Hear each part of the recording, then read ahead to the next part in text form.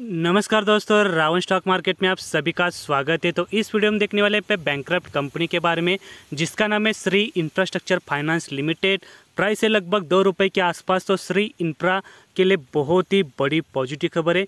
जो भी खबर है, जो शेयर होल्डर है कंपनी के, उनके लिए एज वेल एज कंपनी और इसके जो एनसीडी होल्डर है, इनके लिए बहुत ही बड़ी खबर है। तो कौन सी खबर है, पूरे डिटेल में जानने वाले लेकिन वीडियो के स्टार्ट में डिस्क्लेमर कोई भी स्टॉक लेते हैं स्पेशली जो कंपनी आई कोड दो हज़ार सोलह की यहाँ पे एक्ट के अनुसार कोर्ट में या फिर एन में एडमिट है, ऐसे कंपनी में बहुत ज़्यादा रिस्क रहते तो जो भी पैसा लगा रहे, खुद का स्टडी करने के बाद पैसा लगा सकते हैं। तो जैसे कि आप लोगों को पता रहेगा, ये कंपनी बैंक हो चुकी है और आईबीसी कोड दो के अनुसार कंपनी के ऊपर यहाँ पे बचाने के लिए क्या किया जा रहा है? रेशन प्लान पास करने की कोशिश की जा रही है। तो हमने देखा था यहाँ पे ऑप्शन वन हुआ था ऑप्शन टू हुआ था और किसने बाजी मारी थी? यहाँ पे जो सबसे हाइस्ट बीड लगाया था, वो थी गवर्नमेंट बेस्ड कंपनी जिसका नाम है N A R C L, यानी national assets reconstruction company limited ने यहाँ पे बाजी मारी थी। उन्होंने सबसे हाईएस्ट बिड लगाया था। तो जब भी कोई कंपनी बाजी मारते तो क्या होता है, पूरा जो बैंक कंपनी का मैनेजमेंट है कंपनी के आसे से पूरा का पूरा यहाँ पे एक्वायर करते एक बड़ी कंपनी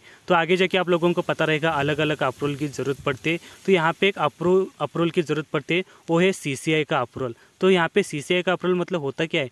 जैसे कि सीसीआई का लॉन्ग फॉर्म में कॉम्पिटिशन कमीशन ऑफ़ इंडिया तो यहाँ पे इनका काम क्या रहता है? फॉर द एग्ज़ाम्पल क्या होता है? आपके एरिया में दो यहाँ पे बिजनेसमैन है बिज़नेस ए है और बिज़नेस बी है। दोनों का भी सेम बिज़नेस है।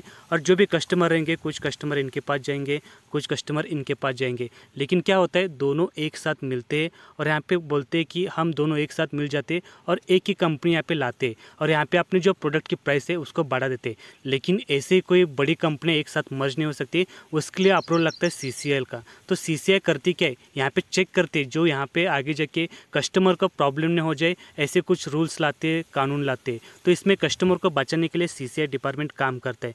तो यहाँ पे अगर कोई मर्जर होता है या फिर कोई एक्विशन होता है तो यहाँ पे सी का अप्रूव बहुत ही ज़रूरी है। तो यहाँ पे पढ़ सकते हैं न्यूज़ को। C C I approve Shri infra finance acquisition by N A R C L I D R C L तो जो भी N A R C L company यहाँ पे श्री इंफ्रा का जो यहाँ पे बिज़नेस है एक्वायर करने वाले तो इसके लिए सी सी आई ने ग्रीन सिग्नल दिखा है अप्रूवल दिया है। तो यहाँ पे भी वही लिखा है, जो गवर्नमेंट बेस्ड कंपनी है, यहाँ पे N A R C L इनको यहाँ पे अप्रूवल मिल चुका है सी सी का। तो बहुत ही बड़ी पॉजिटिव खबर है यहाँ पे श्री इंफ्रा के लिए और उनके शेयर होल्डर के लिए। आगे जाके यहाँ पे रेशन प्लान में क्या होगा, वो आगे का रहेगा। जैसे कि अभी तो फ़िलहाल यहाँ पे एन ने कंपनी ने एक्वायर तो किया है, लेकिन एक बहुत ही बड़ा इवेंट होगा, वो रहेगा कारपोरेशन इवेंट तो इसमें डिसाइड किया जाएगा जो पुराने शेयर होल्डर है, इनको एक शेयर के बदले एक शेयर देना है या फिर एक के बदले ज़ीरो शेयर देना है। अगर एक के बदले एक शेयर मिलता है, जिन्होंने भी दस रुपये के नीचे शेयर को बाई किया है, उनको बहुत ही बड़ा फ़ायदा होगा।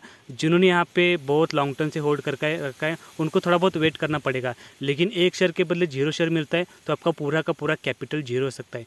ये तो हो गया शेयर होल्डर के बारे में। तो एनसीडी होल्डर का क्या होगा? देखिए, अभी तक कोई भी रेशन प्लान में ये लिखा नहीं कि आगे जाके एन होल्डर है, इनका क्या होने वाला है।